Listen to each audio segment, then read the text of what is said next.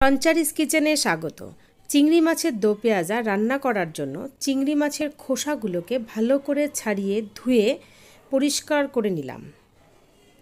এবার এই মাছগুলোতে আমি পাঁচশো গ্রামের মতো মাছ নিয়েছি।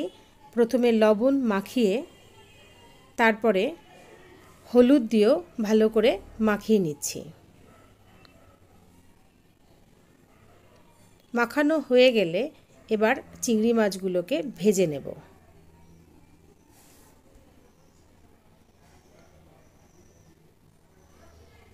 এপাশ ওপাশ দুপাশই চিংড়ি মাছগুলোকে ভেজে নিতে হবে।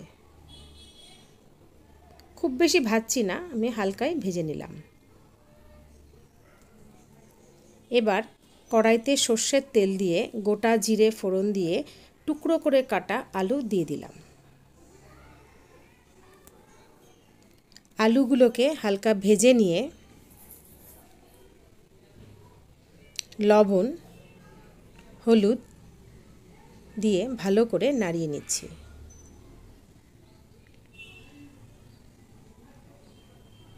এবারে কুচনো পেঁয়াজ দিয়ে দিলাম।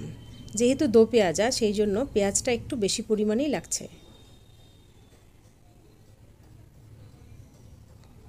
আমি দুটো মিডিয়াম সাইজ পেঁয়াজকে কুচি করে নিয়েছি।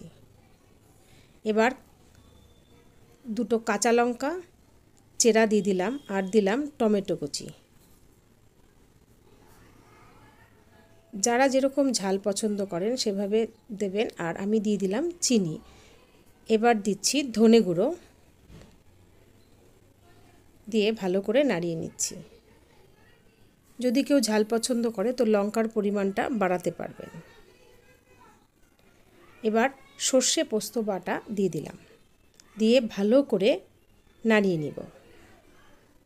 মশলা ভাজা ভাজা হয়ে গেলে উষ্ণ গরম জল দিয়ে দেব।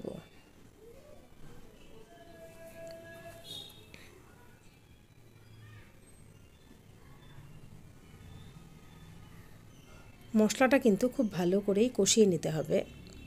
এইবার ভাজা চিংড়ি মাছগুলো দিয়ে দিলাম। ব্যাস। রেডি আমার আর কিচ্ছু দেব না। কিছু দেওয়ার দরকারও নেই। এতেই চিংড়ি মাছ তো এমনি স্বাদ। এতেই অনেকটা স্বাদ হয়ে যাবে। এবার একটু ফুটতে দেব।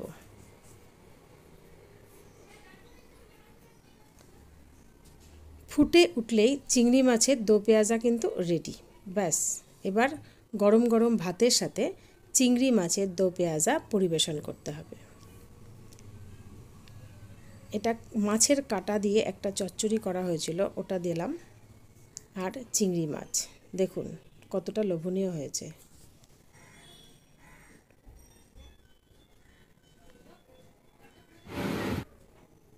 Thank you for watching